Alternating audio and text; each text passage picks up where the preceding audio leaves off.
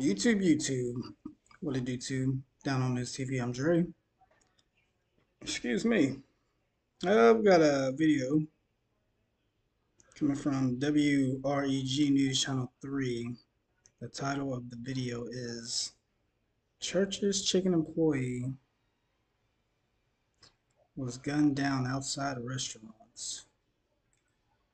Let's check out the. News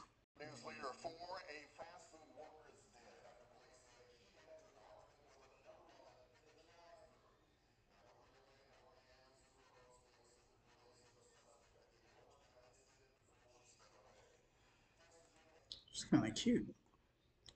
And cute means that are crazy.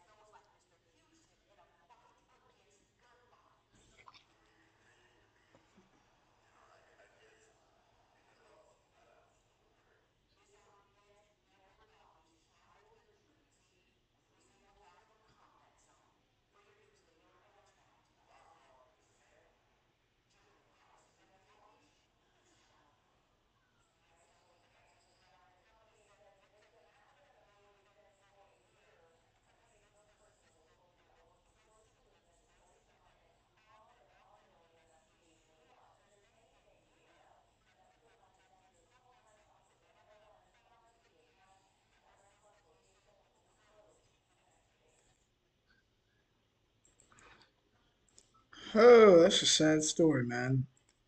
Person trying to earn a honest living and being gunned down after an altercation.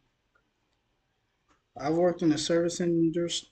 Ended. I can't speak today. What's going on? I'm tired, dehydrated. Just got back from the gym. Maybe I need to start doing these videos earlier in the day.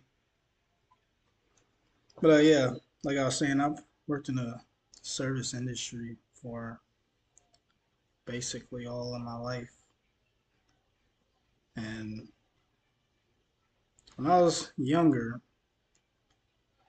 where I where I'm from, we really didn't have too much of this senseless violence around. I mean, I'm pretty sure there's there's always been violence every, since the beginning of our country, since history. But when I was growing up, I don't I don't recall seeing this much violence over nonsense. Well, here in Mississippi, at least in my local community, but yeah, when I was younger, I was more rambun rambunctious and like if we had a thief, try to hawk him down and apprehend him up until police would arrive. But nowadays, oh my goodness, I just somebody's talking crazy to me. I just man, you got it, man, ma'am, sir, whatever situation may be. But people nowadays, I think uh, a lot of retail stores around here as well. They have a a policy that you can't even apprehend shoplifters. I'm not going to name the retail store, but I know the AP person, he would just take photos of the person and surveil them from the AP room, possibly get their license plate tag and I guess phone it into nearest police department. But yeah, it's not worth it, people. Some people you don't know what they're going through. That's why I just try to give the majority of the people, if they do get my face talking crazy, I just give them the benefit of the doubt. There, you got it, man. It's it's not worth it. It is not worth it. Down Home News TV, I'm Dre. Y'all have a good one.